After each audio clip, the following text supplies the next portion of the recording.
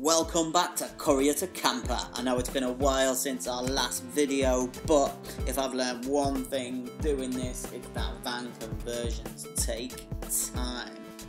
And if you're following Courier to Camper on Instagram, you'll know we have already taken Roger on his first trip to France. But this episode is going to be all about how we ply lined it and built the cabinets. So it looks like this. Let's go! So here I'm building the wheel arch covers. Now we had loads of scraps of wood that we wanted to use, so I did, but because some of them were so thin, it was hard to screw them together without the ply splitting. So we used some wood glue and some square doweling to hold all of the pieces in position. Used bricks to weigh them down whilst the glue dried, and then once the glue had fully dried, we were able to use pin nails, really thin ones, to hold them together better. But because we built these ages ago, we did find ourselves a little problem. Check it. So we made our wheel arches ages ago, but after cutting our ply to fit nice and flush up to the side of the van, we came across a problem, which is this. When we put our lovely wheel arches on, we're left with a bit of a gap down there. So, rather than make new wheel arches, we created this. Check it out. Now this, just a bit of wood attached to some of the wood that we chopped off our bit of ply that's already on and fits in here nice and snug. So we'll screw that on and then we should have that gap covered up.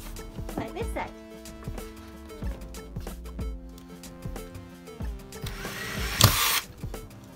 That is not professional.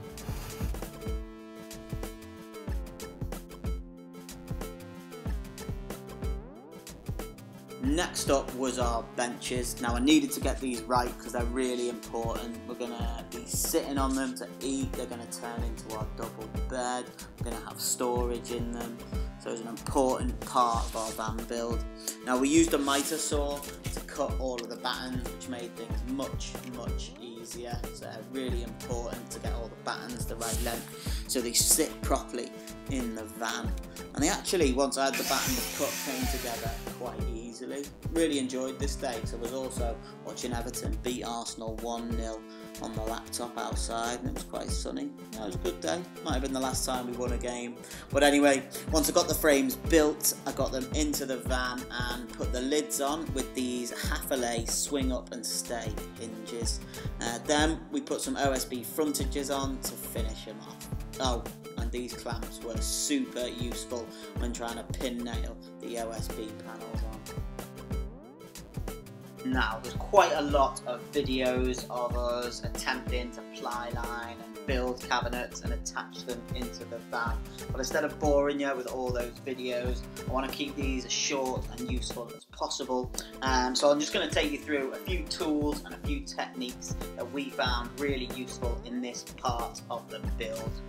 So when ply lining, a useful tool and for cutting doors for your cabinet is a big bandsaw like this one. You can do everything with a jigsaw, but these bandsaws are really good, they're really fast and you can cut straight lines, which can be really useful for this bit of the build.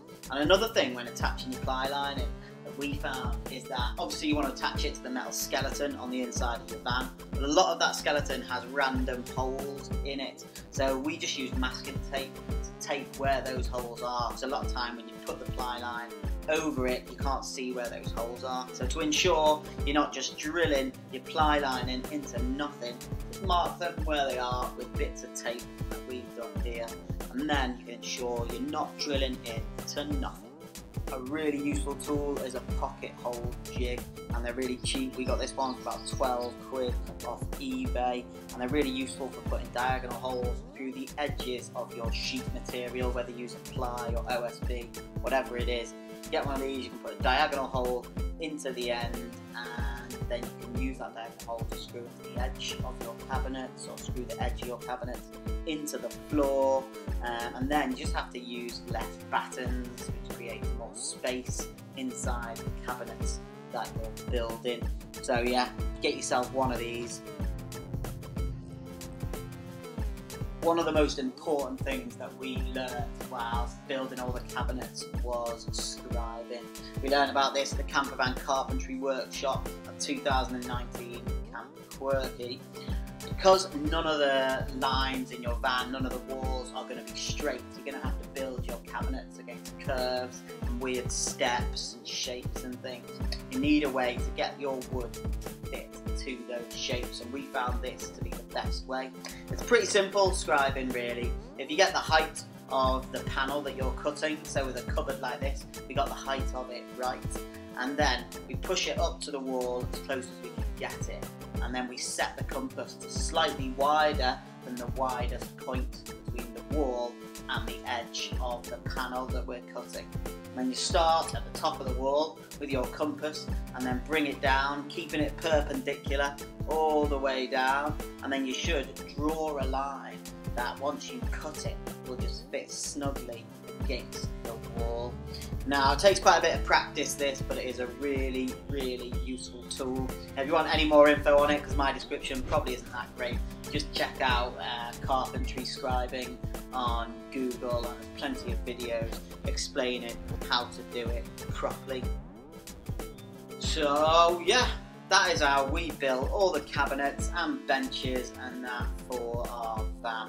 Now lots of jobs you do whilst you're building your own camper van are going to be frustrating, they're going to be hard, but I've got to say I quite enjoyed doing all the cabinets and benches and good thing about these, the woodwork is, is that you can make mistakes and just try things again. You're not going to do any irreversible damage to your van whilst building a cupboard, are you? And also doing your own unit just gives you the chance to build the van that you want to build.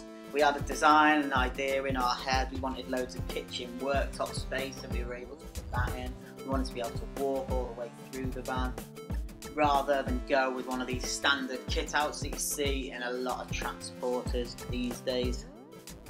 One other thing I would recommend is going away in your van before you've got all your cabinets and stuff finished because when we were away in France, we realised that we needed a bit more storage, so we built this bookcase onto our kitchen worktops. We also realised we had nowhere to put shoes, which were all over the van for most of our holiday, so we built a shoe rack in.